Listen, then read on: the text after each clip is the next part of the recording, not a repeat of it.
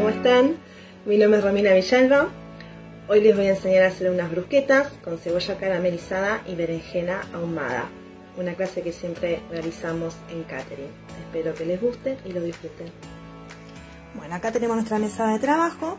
Para empezar a hacer estas brusquetas, lo primero que vamos a hacer es el pan. Yo usé una harina integral. Usé 350 de harina 3 ceros, a la cual incorporé 25 gramos de salvado fino y 25 gramos de salvado grueso. Si ustedes no tienen, usan directamente harina 3 ceros, 400 gramos.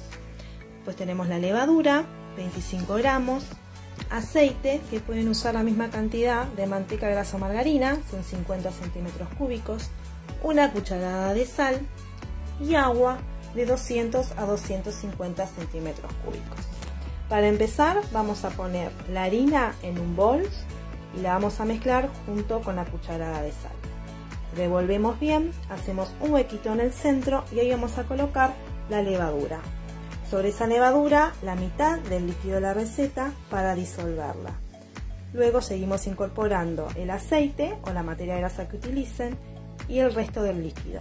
Incorporamos bien mezclando todos los ingredientes y amasamos aproximadamente de 5 a 10 minutos. Bueno, y así nos tiene que quedar la masa, ¿sí? Bien firme y elástica. Y de esta manera la vamos a poner en un bol. La vamos a tapar siempre con nylon para que no se nos seque la superficie y de esta manera dejamos levar en un lugar cálido aproximadamente 40 minutos. Bueno, mientras el pan está levando, nosotros ahora vamos a hacer estas dos cubiertas para estas brusquetas, ¿sí? Vamos a hacer una cebolla, la vamos a cortar en pluma, o sea, a lo largo, ¿sí? De la cebolla y las vamos a caramelizar.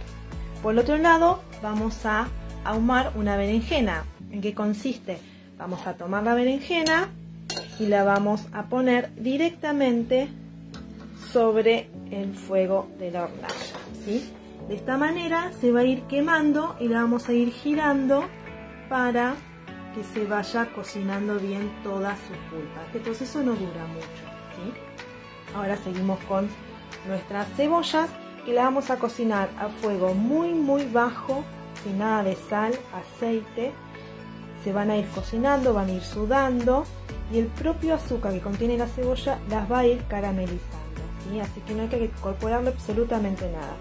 Cuando la preparación se vaya secando, recién ahí se puede incorporar un poco de líquido, que puede ser agua o caldo. Bueno, acá empezamos a cocinar nuestras cebollas. Ven que no tiene nada de aceite ni de sal, ¿sí? Esto va a empezar a ir sudando, la cebolla va a ir largando su propio jugo y a medida que se evapore vamos a ir incorporando agua, ¿sí? En poquita cantidad. Es un proceso de cocción largo, hay que ir revolviendo cada tanto y después se va a empezar a caramelizar. Se va a empezar a poner ese color caramelo característico de estas cebollitas agridulces.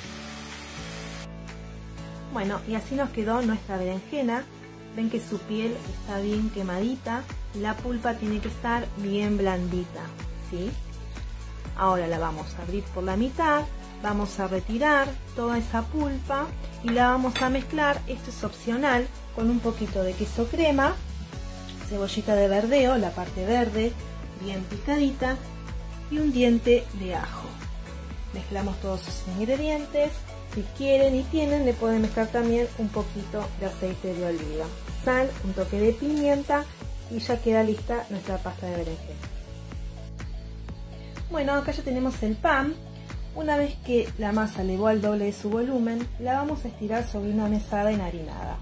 Vamos a enrollarlo y vamos a hacerle unos pequeños cortes en su superficie.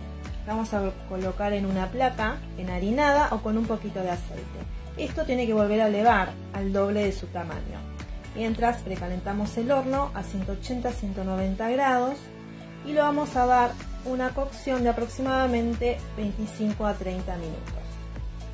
Una vez que el pan está bien dorado, lo retiramos, lo dejamos enfriar y vamos a cortar unas pequeñas rebanadas para hacer nuestras tostadas. Estas tostadas las podemos hacer con un poquito de aceite saborizado con cualquier tipo de condimento que tengan. Orégano, tomillo, albahaca. Las vamos a pincelar y las vamos a tostar de nuevo en el horno. Y acá tenemos nuestro pan, ¿sí? el cual yo ya, una vez que está frío y con un cuchillo con sierrita, corté en rodajitas, los puse en una placa con un poquito de aceite, al cual saboricé con un poquito de pimentón y romero. Ahora vamos a llevar un horno fuerte para hacer bien estas tostadas. Bueno, y acá te quedaron nuestras brusquetas. ¿sí? Acá tenemos las tostaditas bien doraditas y acá las armamos sobre las de cebolla caramelizada, unté con un poquito de queso blanco y arriba le puse las cebollas caramelizadas y las otras zonas de berenjena ahumada. Así quedaron mis cebollitas y la ven. Bueno, espero que la hayan disfrutado tanto como yo. Les mando un beso grande y nos vemos pronto.